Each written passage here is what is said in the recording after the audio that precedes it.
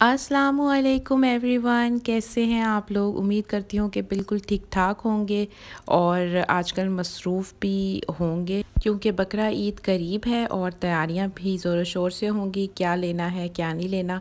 तो सबसे पहले हम बात कर लेते हैं बकरा ईद की तैयारियों के बारे में। मेरी तरह आप भी सब ख़वातीन बहुत ज़्यादा मसरूफ़ होती होंगी बकरा ईद पे तो इसलिए हम पहले ही कर लेते हैं थोड़ी सी अपनी प्रेप्स, ताकि जब मेहमानदारी हो और चीज़ें पकानी हो तो हमें हो, जल्दी हमारी हेल्प हो जाए। तो चलते हैं आज की वीडियो की तरफ़। सबसे पहले हम बना लेते हैं हरे धनिया की चटनी और पुदीने की। तो बस यहाँ पर मैं हरा धनिया कट कर रही हूँ। यहाँ पर मैंने एक बड़ी सी गड्डी हरा धनिया की ले ली थी। मैं आपको दो तरीके बताऊँगी जिससे आप अपना हरा धनिया सेव कर सकते हैं। एक तो आपकी चटनी हो गई और दूसरा तरीका जो सिंपल हरा धनिया सेव करने का होगा वो बताऊँगी। और बस यहाँ पर मैं इसको हरा धनिया को डाल रही हूँ। आपको पता है हरा धनिया बहुत जल्दी ख़राब हो जाता है, काला हो जाता है नीचे। तो सबसे पहले तो आप इसकी चटनी बना लें, क्योंकि हर खाने के साथ, रायते के साथ हम लोग चटनी ज़रूर खाते हैं। और बिरयानी हो या किसी चीज़ में डालनी हो तो वो मस्ट हो जाती है। तो बस अब मैं ये धोने के लिए लेके जा रही हूँ हरा धनिया। और बस मैंने थोड़ा बहुत इसको चॉप कर लिया है।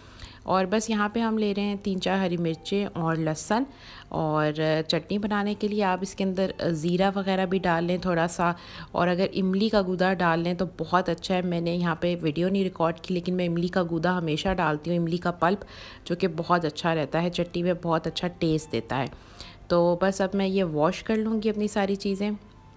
और उसके बाद मैं यहाँ पे बनाने लगी हूँ चटनी ब्लेंडर में और ये हैंड ब्लेंडर है जिसमें मैं बनाने लगी हूँ। बस इसमें मैं हरा धनिया डालूँगी और सारी ये चीज़ें डालूँगी। अब बस मैं इसके अंदर पानी ऐड कर रही हूँ थोड़ा सा ताकि ये थोड़ा सा चॉप होने में हेल्प हो जाए। बहुत थोड़ा सा ऐड करिएगा क्योंकि हरे धनिया में और पुदीने में वैसे भी पानी होता है और बस ये चॉप हो चुका है।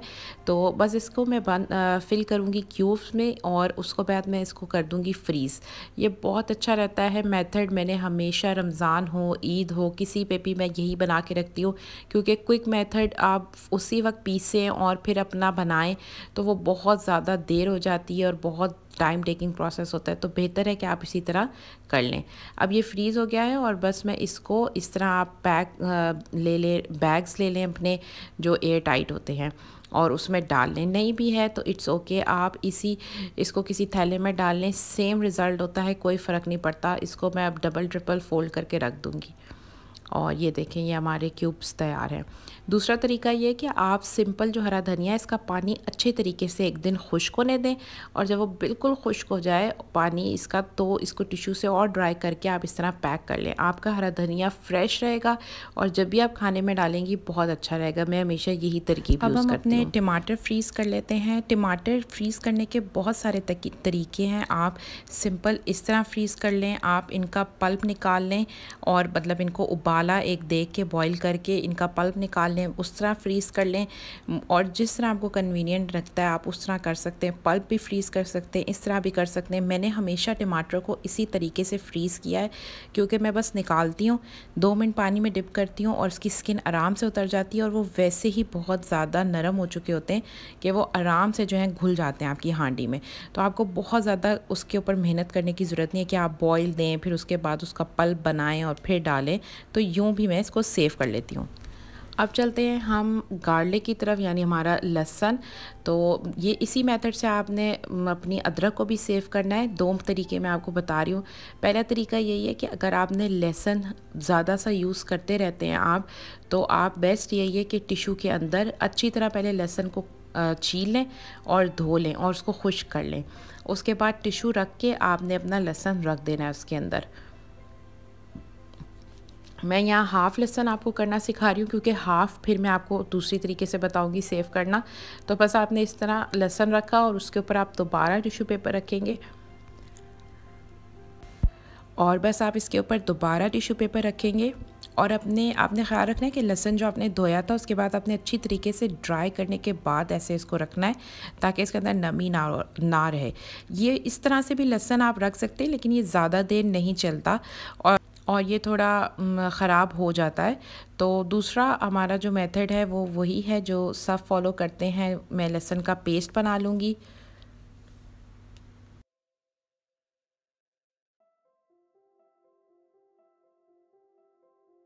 अब बस मैं दोबारा जो दूसरा लहसन रह गया था मेरा, वो मैं आपको बता रही हूँ। बस आपने इसके अंदर लहसन डाला और थोड़ा सा आप इसके अंदर पानी डालें और इसको ब्लेंड कर लें। और पानी कम ही रखें और बस ब्लेंडिंग कर लें।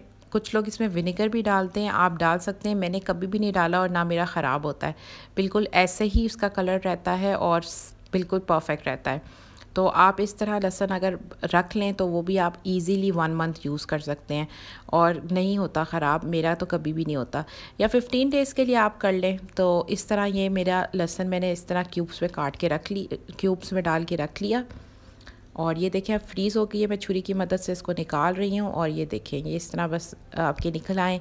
और एक खाने के अंदर आप दो क्यूब्स डाल दें एक डाल दें जिस तरह आपके खाने की रिक्वायरमेंट है। और इसी तरह ही मैं बैग्स में डाल रही हूँ ये बैग्स काफ़ी एक्सपेंसिव हैं बड़ी मार्केट में। मैंने डॉलर शॉप से लिए थे तो 160 में आई थिंक 20 आ गए थे। तो बहुत आसानी से मुझे ये कंप्लीट मेरी आ, हो जाते हैं इसमें और काफ़ी चीप वहाँ से मिल जाते हैं। लेकिन मैंने इम्तियाज़ वगैरह से और आगे पीछे स्टोर से पता किए थे तो ये काफ़ी एक्सपेंसिव हैं, क्योंकि वो बड़ा पैक होता है और उसमें काफ़ी ज़्यादा होते हैं। अब जो हमारी ग्रीन चिलीज़ हैं, ये भी आप सेव कर लें। तो ज़्यादा अच्छा है क्योंकि हरी मिर्चें जो है वो आपको पता है बहुत जल्दी ख़राब होती हैं। या तो आप इसका पेस्ट बना लें और उसको फ्रीज़ कर लें, फिर आप अपने खानों में भी यूज़ कर सकते हैं। मैं खानों में ग्रीन चिलीज़ बहुत कम पेस्ट के तौर पे यूज़ करती हूँ, मैं एंड पे ही डालती हूँ। तो मैं इस तरह बस इसके अभी फ़िलहाल ऊपर से बस उतार के इसका जो डंडी है और आपने इसको वॉश कर लेना है और आपने इसको सुखा लेना है। ये बस मैं आपको फास्ट फॉरवर्ड करके बता रही हूँ कि मैंने डंडियाँ निकाल ली थी। और इसको फिर आपने वो अच्छी तरीके से वॉश करके इस तरह जाली पे रख के सुखा लेना है। और फिर वही सेम तरीका है जो हमने पहले किया था कि हमने एक टिश्यू पेपर नीचे रखना है, हरी मिर्चें रखनी है इसके अंदर और ऊपर टिश्यू पेपर रख के उसको बंद कर लेना है। इसकी आसानी ये है कि जब भी आपने खाने में डालना हो बस निकाल ली और डाल लें। और आपको कुछ भी करने की ज़रूरत नहीं है, ना धोने की, ना कुछ, क्योंकि आपने अच्छे तरीके से इसको धो के सेट करके रखा हुआ होता है।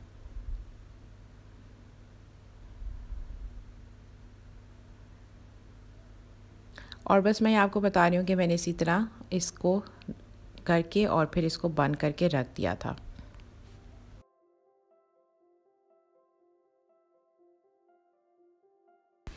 अच्छा जी, फिर एक और है कि ये कि आपने क्या करना है कि प्याज ले लेनी है, पाँच छः गड्डिया मैं बड़ी बड़ी ले रही हूँ क्योंकि ये वैसे भी ख़राब हो जाती हैं जल्दी। तो मैं क्या करूँगी, इन प्याज को कर लूँगी कट और बारीक बारीक और टमाटर फ्रीज़ होया हुए थे, वो भी वही मैंने निकाल लिए हैं।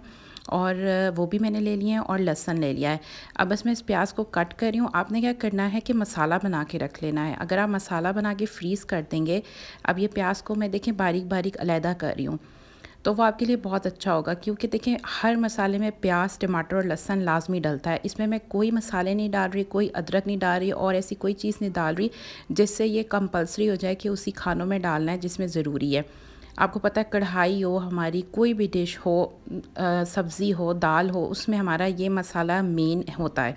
अब मैं थोड़ा सा ऑयल ले रही हूँ, उसके अंदर मैंने वही चॉप की हुई अपनी प्याज। अब आपने प्याज फ्राई कर लेनी है और इसको जिस तरह नॉर्मली आप फ्राई करते हैं, वैसे ही फ्राई करें और अपने हिसाब से इसका कलर एडजस्ट कर लें। जो आप नॉर्मली खानों में यूज़ करते हैं कलर अगर आप बहुत डार्क कलर के खाने बनाते हैं तो इसको बहुत डार्क कर लें। मैं नॉर्मल रखूँगी क्योंकि मेरे यहाँ लाइट कलर के ही खाने पसंद किए जाते हैं। इसमें मैं नमक डाल रही हूँ। नमक से जल्दी से प्याज ब्राउन हो जाती है तो थोड़ा सा मैं नमक डाल रही हूँ। जस्ट मैंने ज़रा सा स्प्रिंकल किया है।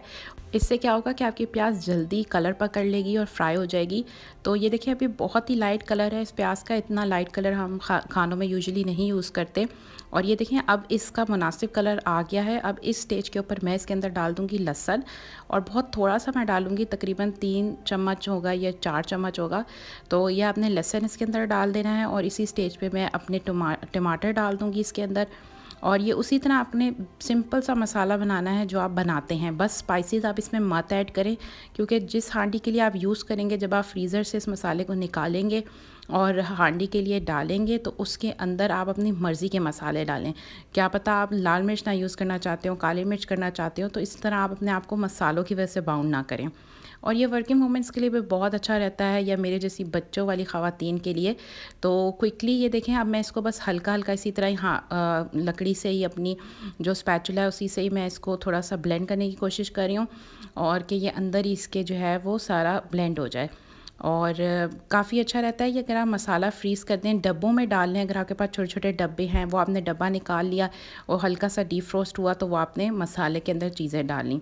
अब जब मेरा मसाला ठंडा हो गया था तो मैंने हल्का सा इसको ब्लेंड कर लिया है क्योंकि मुझे थोड़े से ये मोटे लग रहे थे प्याज, टमाटर। आप चाहें तो अच्छी तरीके से भून कर देर तक, पंद्रह बीस मिनट तक, उसके बाद वो हाथों की मदद से ही अच्छा ब्लेंड हो जाता है। लेकिन टाइम कम था तो मैंने इसके अंदर ब्लेंडर चला दिया है। अब आपने इसको स्टोर करना देख लेना है। स्टोर करने के लिए मैंने जो पहले बड़े बैग यूज़ किए हैं, उन्हीं को ही मैं चार हिस्सों में डिवाइड कर रही हूँ और इसको मैं बंद कर लूँगी साइड से। ये काफ़ी टेक्निकली मुश्किल होता है चूल्हे के ऊपर ही आप इसको थोड़ा सा बंद कर लेते हैं। लेकिन आप नॉर्मल शॉपर यूज़ कर लें, अगर आपको इस तरह के छोटे पैकेट्स मिल जाते हैं तो बेहतरीन है। मेरे पास नहीं थे तो मैंने यही हैक यूज़ कर लिया, कि इसको चूल्हे के ऊपर, आग के ऊपर रख के साइड इसकी सील कर दी और चार हिस्सों में डिवाइड कर लिया। अब ये देखिए मैं पैकेट्स बना रही हूँ, आपने अपनी मर्ज़ी के बनाने हैं, आप जितना मसाला यूज़ करते हैं, आपके घर में कितना खाया जाता है। तो मेरे लिए टू स्पून बहुत था, एक टाइम की हांडी के लिए या दो टाइम की हांडी के लिए भी। तो उस तरह से मेरे चार पैकेट इसके अंदर बन गए थे, आराम से। तो चार पैकेट मेरे इसमें बन गए थे, यानी चार दफ़ा की हांडी में ये यूज़ हो सकता है। और ये देखें मेरे लिए इतना मसाला इनफ होता है एक हांडी के लिए। तो आप बहुत ज़्यादा भी ये कर लें तो ज़्यादा अच्छा है, ताकि आपके ज़्यादा सारे पैकेट्स बन जाएँ। और बस ये देखिए मैं इसको किसी शॉपर में डाल लें आप, आगे से सील कर लें ताकि ये बाहर ना निकले। और जब भी आपको ये चाहिए हुआ, आप डब्बों में भी रख सकते हैं, पर वो ज़्यादा जगह लेते हैं। तो इसलिए मैंने डब्बों से परहेज़ किया है और ये इस तरह लिफाफों में ही डाल लिया है। अब जब आपको चाहिए होगा, आपने एक निकाला फ्रीज़ हुआ हुआ, उसको थोड़ी देर छोड़ दिया और फिर उसको कैंची से काट के उसके अंदर आप अपनी हांडी में डाल दें और बेहतरीन तैयार हो जाएगा। और ये देखें, बस मैं आपको बता रही हूँ कि इस तरह मैंने मसाला निकाला, उसमें अपने सारे मसाले डाले और आलू डाल दिए और ये हम आलू के तैयार हो गए। अब हम लेमन्स को देख लेते हैं कि कैसे सेव करना है। ये मैं अपनी पहली वीडियो में भी, हैक में भी बता चुकी हूँ। बहुत आसान सा तरीका है आपने बस लेमन्स वॉश कर लेने अपने। बेशक ये ऐसे ब्राउन हो जाए, लेकिन अंदर से काफ़ी जूसी होते हैं। तो बस नींबू बहुत सी चीज़ों में यूज़ होते हैं। गर्मियों में तो बहुत ज़्यादा और बस मैं इसका जूस निकाल रही हूँ। और शिकंजबी हो गई या कुछ और आप यूज़ करें। और खानों में मैं बहुत सी चीज़ों में यूज़ करती हूँ। टिक्के बनाने हों या और किसी चीज़ में चटनी वगैरह में सब में यूज़ होते हैं।